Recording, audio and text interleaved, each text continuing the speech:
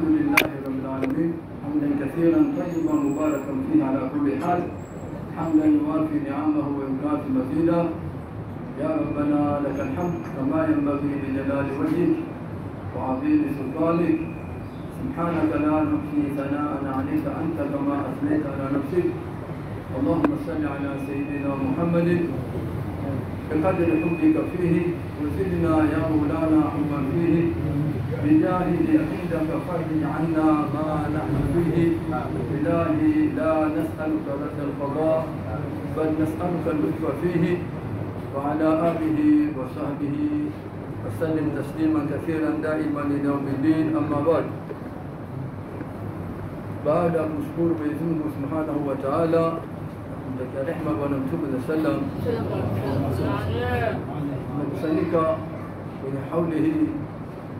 alhamdulillah leo tumepata ugeni hapa.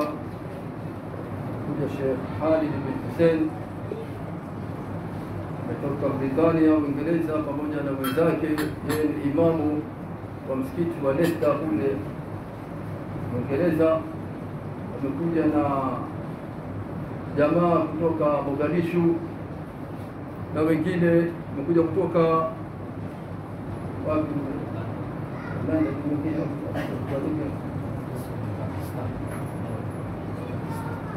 Nani mwingine? Eh, sehemu mbalimbali. Kuna mwingine asili yake ni Libya, lakini yuko anaambia yuko wapi? Holland, sijui wapi. Ala kuli hal, na watu wa hapa mjini wanakuja kutoka mashamba, wengine wamekuja kutoka Dar es Salaam kwa maksudi hasa kuifuata hii hauli. Mwenyezi Mungu awajaze kheri wote na awape matulaba yao, na wengine wamekuja kutoka London, wengine watoto wetu imewasadifu hii kukutana nayo na wako hapa. Hauli ni kitu kinafanywa kila mwaka, naeleza hala yahulu haulan, kitu yani asheu madha alaihi lhaulu, kitu kimezungukiwa na mwaka, ndio hauli manake. Sasa tena wale wanachukua tafsiri kwamba kama jambo la shirki, jambo la balaa ni la wao wenyewe.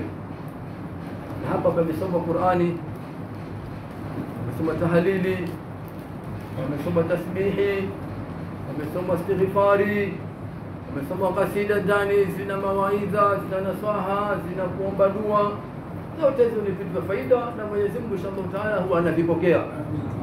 Vyote vina faida, sio vitu vya upuzi. Hii hauli ni ya mzee wetu Khalifatul Qadiria Sayyid Ali bin Sayyid Umar Fulateni bin Sayyid Muhammad بن مبهل بن أبي بكر بن علي بن أبي بكر بن محمد بن أبي بكر بن أحمد بن عمر بن محمد النظيري بن آه، عبد الله بن عمر أحمر أحمر الهيوني بن عبد الرحمن Bahutena. ويبانا هويو huyu ndio alitukutanisha sisi tukakutana familia mbili ya Al-Sumeti na Al-Nadhiri. Na huyu bwana huyu ndio aliojenga msikiti wa Babu Tena Tarim Hadhramauti. Siku hizi kujitokeza watu wakatoa vitu kwenye mitandao wakazungumza, wengine wakatoa virisala virisala, wakamtaja mzee mwingine aliojenga msikiti ule, ni huyu bwana. Said um, Said Abdurrahman Babu Tena, na ule msikiti unaitwa Babu Tena kwa jina lake huyu bwana.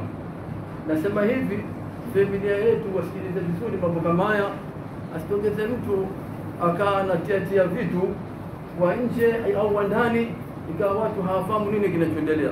Na kila mwaka hauli hii hauli ya Mabni Sumaiti Alhabib Ahmad bin Bakar bin Sumaiti ya Habib Omar, kifika hapa nasema kwa makusudi, lakini watu fanya vitu sio wamepokea wapi, wamepokea wapi? Bwana huyu Abdurrahman Babu Tena bin Ahmad bin Alawi bin Ahmad al-Faqihi bin Abdurrahman bin Alawi am al-Faqihi bin Muhammad sahib al-Ribati bin Ali Khalid Qasam bin Alawi bin Muhammad bin Alawi bin Ubaidillah. Alawi huyu wa Ubaidillah ndio Alawiyina wananasibishwa naye, Alawiyina, Alawiyina watokana na bwana huyu bin Ubaidillah ibn Imam al-Muhajiri Ahmad bin Isa. Huyu bwana ndio aliyekura kutoka hatua pili Iraqi, akaenda zake al-Haram kufanya hija na kamzuru babu yake bwana Mtume sallam. Yeye na familia yake ameikimbia fitna, kaja zake mpaka Hadhramaut, akashukia katika mji wa Hijireni yuko milimani Majabali, na alhamdulillah tumezuru kwenye nyumba yake, lakini kwa bahati tulikuta imefungwa, vilifungua hiyo, lakini yeye amezikwa pahala Seisa baina Tarim na Seyuni, katikati kwenye jabali, na anafanyiwa hadhara hauli.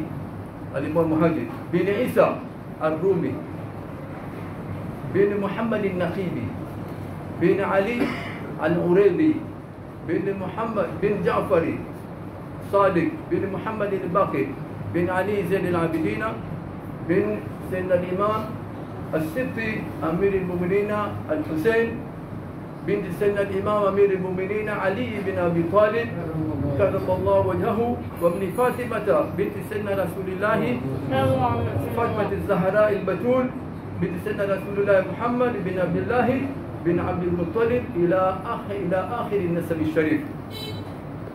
hii sallallahu alaihi wasallam ndio nasabu yake bwana huyu, na mama yake anaitwa Sayyida Hafsa bin Sayyid Abubakar Shafiri. Bwana huyu kazaliwa hapa Mni mwaka elfu moja mia tatu na thelathini na mbili hijiria sawa na elfu moja mia tisa na kumi na tatu miladia. Akakulia chini ya wazee wake wawili Ilipofika wakati wa kupelekwa chuoni, akapelekwa chuoni akasoma. Kwa bahati mwalimu wake akafariki, akawa kwanza akimsaidia mwalimu wake kusomesha mpaka mwalimu wake amefariki, akae ukafika wakati sasa Alhabibu Omar Kulateni watoto wake wanapeleka skuli, yeye akamwomba mzee wake abaki chuoni asaidie kusomesha wale watoto. Mzee wake akamkubalia, akabaki chuoni mpaka yule mama naye akafariki. Baadaye bwana huyu, maneno haya ninasema ninatokana na Alhabib Said Abubakar Rashid ambaye ndiye alikuwa ni mkubwa wake, ndio mlezi wake, ndiye aliyempa tarika ya Qadiria ijaza, akampa na ukhalifa, ndiye aliyekuwa naye na akamwachia mambo yote baada ya kuondoka yeye Said Abubakar Rashid. Bwana huyu ilipofika wakati mzee wake aliyekuwa mgonjwa akawa naye shambani kwake kule Welezo, anamuuguza yeye pamoja na mamake. Haya ni maneno ya kaka yake mkubwa wake, anasema akakaa na mzee wake mpaka Mwenyezi Mungu akamhitari mwaka elfu moja mia tatu na arobaini na tano akamzika mzee wake, akakaa na mamake. Sasa akaanza kuingia kwenye madarasa kusoma akenda msikitini, msikiti wa Mbuyuni, msikiti wa jina la Masjid Bakashmar, lakini maarufu unajulikana msikiti wa Mbuyuni.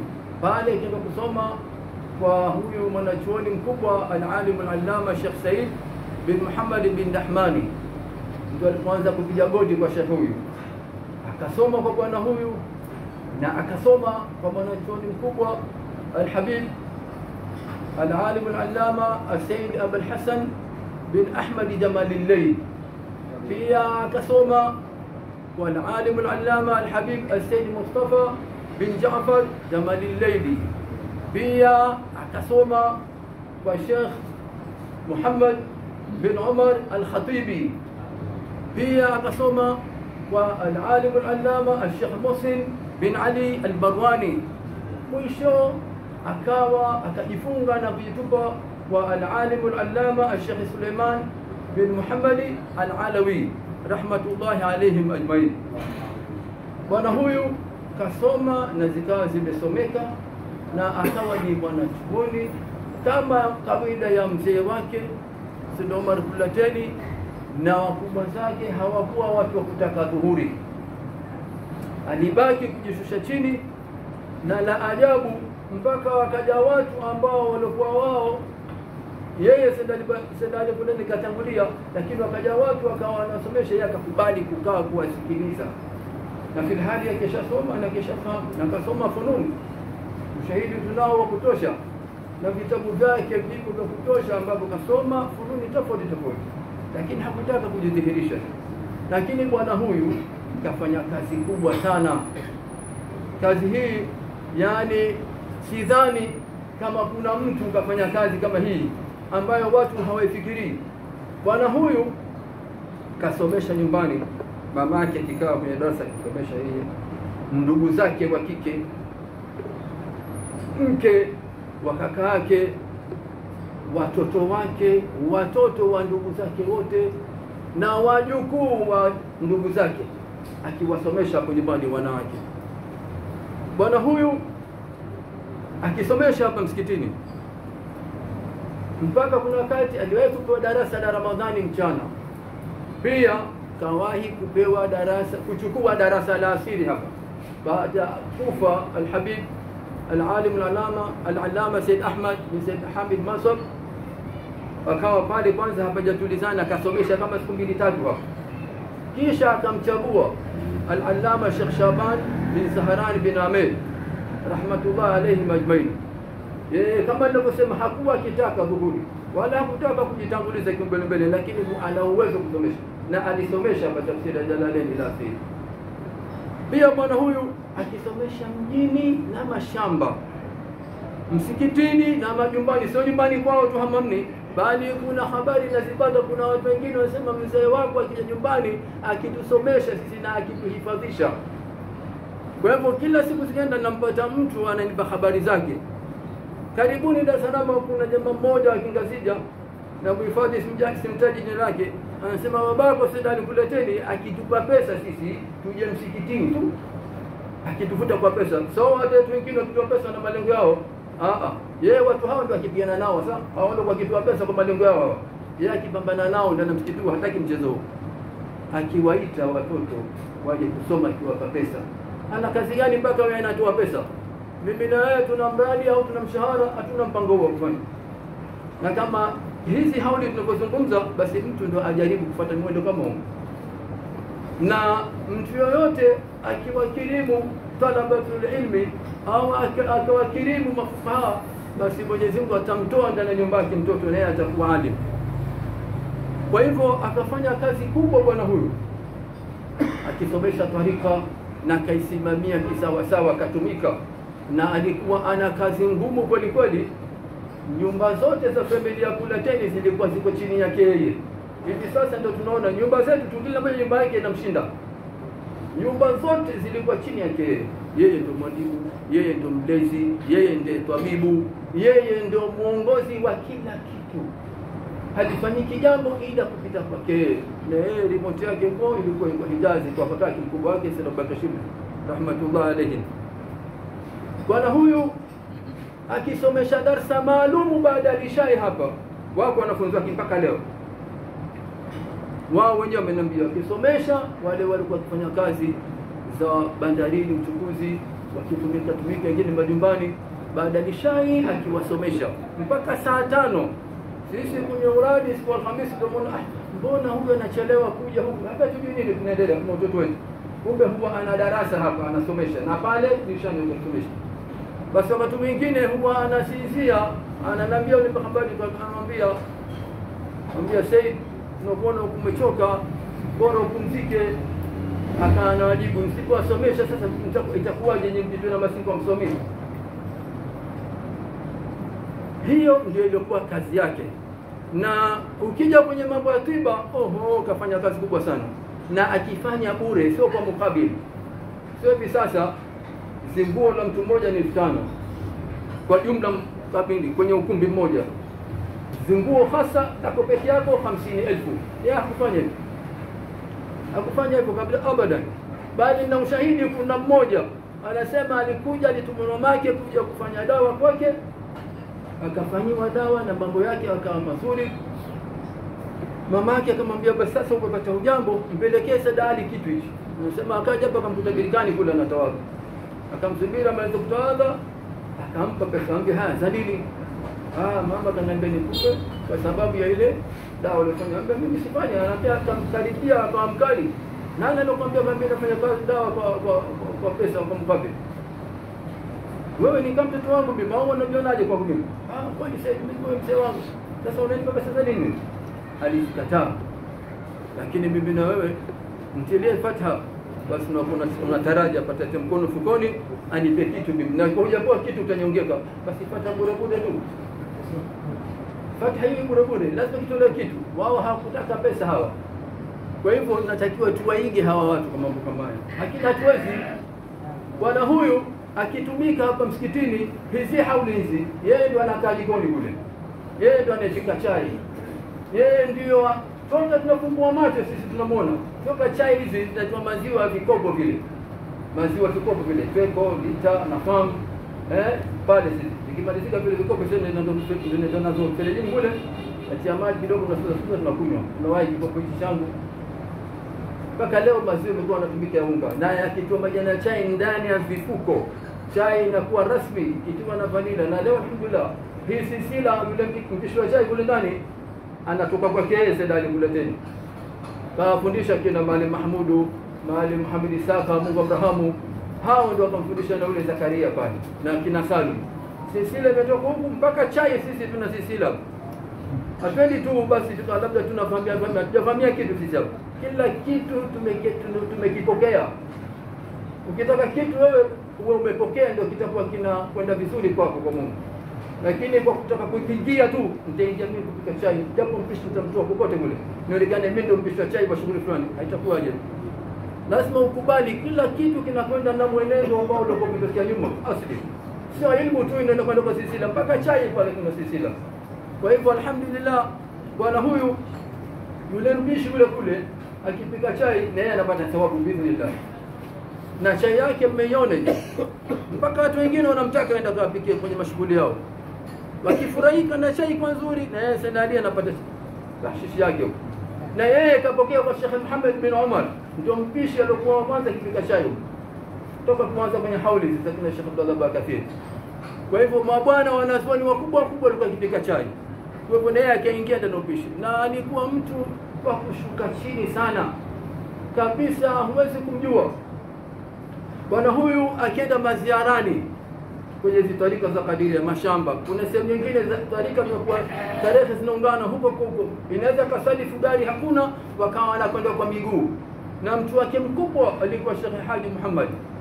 Bwana Haji Muhammad huyu ndio alikuwepo naye mara nyingine, na mtu mzima wakuweza kumzaa, lakini wakiongozana wakienda katika ziara. Mwenyezi Mungu awarahamu. Bwana huyu kafanya kazi kubwa, ka kashika kazi hii ya utabibu, ya utabibu mpaka kuna wakati mkubwa wake Salobanga Shibla wasema aliitwa kule Saudia Jida, kulikuwa kuna wawele wanne. Wawele ni wagonjwa wale ambao wako kitandani, wewe unawashughulikia mpaka waweze kusimama. Yule ndiye anaitwa mwele mmoja, wengi wawele. Aliwashughulikia mpaka wakasimama wakapoa, na wakamshukuru sana. Kama kutajirika alikuwa jamaa wampe pesa atajiriki, lakini kamwiga shekhe wake al-Allama Sheikh Nalagi kataka kupewa nyumba Dar es Salaam na kufunguliwa duka akakataa. Haja zake hapa na Mwenyezi Mungu amhitimisha na mambo mema, na yeye hivyo hivyo mpaka imefika siku, na kila Alhamis lazima aende kumzuru babake na mamake Uelezo pale, kila Alhamis kwa baskeli. Sisi leo tuna vya moto, hatuwezi kwenda kwa baskeli. Sasa zamani baskeli nzito zile rali, baskeli hata kuitupa ghorofani, ukishika chini, ikishuka chini unaipanda unakwenda nayo baskeli nzima, sio leo ukishusha juu huko ukishusha chini, ikifika huko si baskeli tena, kila kiungo kiko pale pake. Akienda na baskeli Uelezo, na pale kuna kilima kikubwa tunakijua kile cha Uelezo, akishuka jana yake bila shaka akipandisha, lakini akishuka pale kwa kila Alhamisi mpaka ajali imekuja kumpata ni siku hiyo Alhamisi, anakwenda kumzuru babake. Hiyo ni ishara ya husnul khitam, mtu kupata mwisho mwema, kahitimika kwamba anafanya ziara kwa wazuru wazee wake akapelekwa hospitali akahamishwa Dar es Salaam kutibiwa, akarudi hapa na akaja akafia nyumbani kwao mbele ya watoto wake na watoto wa ndugu zake na wajukuu zake wengine wa ndugu zake. Alhamdulillah, na mtu akifa mbele ya watu wake huwa ni rehema kubwa Mwenyezi Mungu akupa. Kuanguka mtu njiani huko akaja akadondoka mtu choni na udhibila min dhalika kwenye ajali barabarani, lakini kafia mbele ya watu wao watu wake na nyumbani kwao. Alhamdulillah katika jambo kubwa.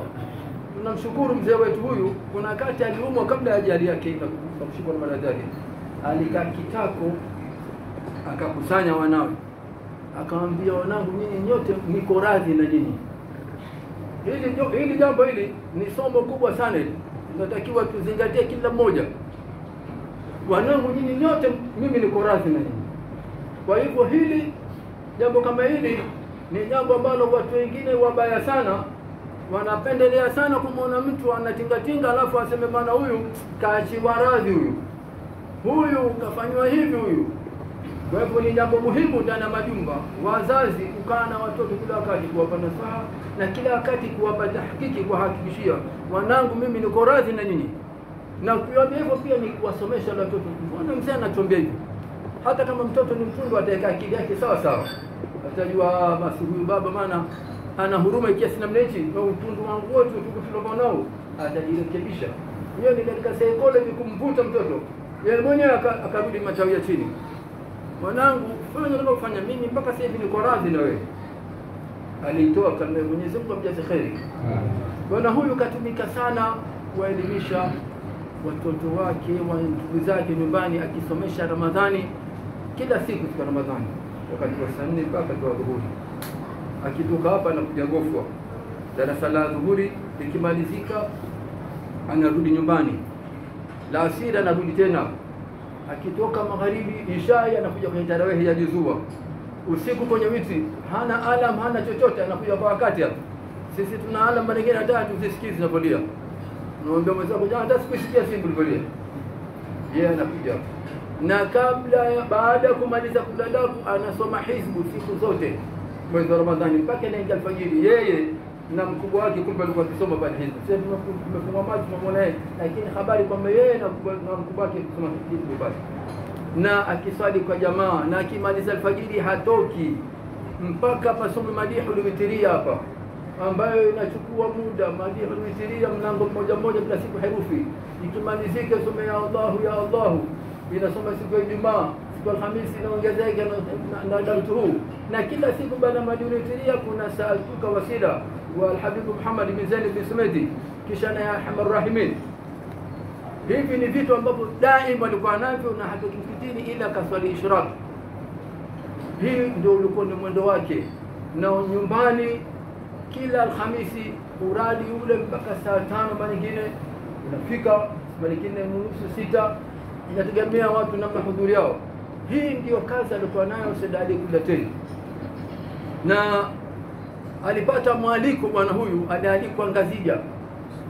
Alialikwa na ndugu zetu wa tarika Kadiria wakampokea kwa uzuri wakamheshimu wakamkirimu na baada ya kurudi kwake akatoa taarifa ile na akampelekea mkubwa wake Said Shibli anasema nimefurahi sana sikudhania namna mapokezi yalivyokuwa makubwa ya ndugu zetu wa tarika Kadiria wa Ngazija na wamenikirimu sana upewa kunikirimu yote kuonesha kwamba ni alaka yake na watu ilikuwa ni nzuri.